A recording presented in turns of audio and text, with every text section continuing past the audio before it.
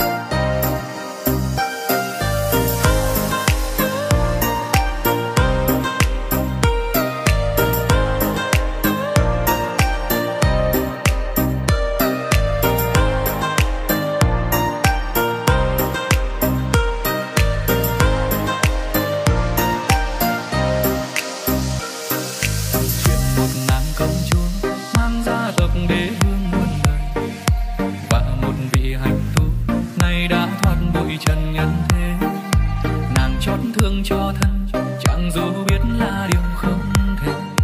Người xuất gia không nói đến chuyện phù thề ngọc đế ơn trên bay chàng vào cũng hướng nhân truyền tâm phật nào biết đâu lương duyên, công chúa sư đồ lại thơm thương. Ngày nhớ đêm ôm mong, nàng lệnh cho phá rơi để kết đôi chàng tranh duyên xin lui về nương như đời chớ trêu thay ngay khi nghe tin chàng đi về nơi rất xa. Nàng buồn hóa tâm tư đau thương và tâm bệnh trong lòng như khóc hoa. Người mượn cớ đi nơi linh thiêng, mong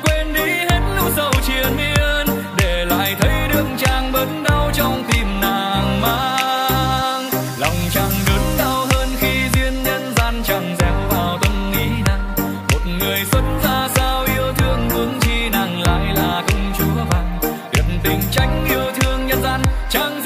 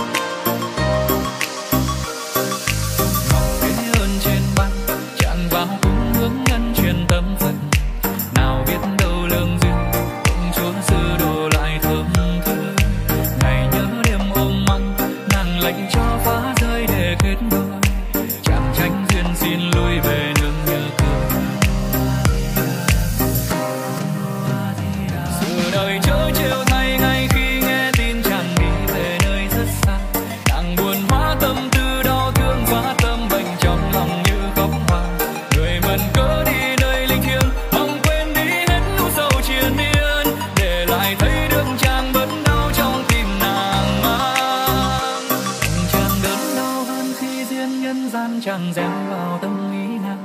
Một người xuất gia sao yêu thương huống chi nàng lại là công chúa vàng. Tuyệt tình tránh yêu thương nhân gian, chàng gieo thân sáng trong biển lửa chan để lại mối nhân duyên đắng cay lưu truyền trần gian.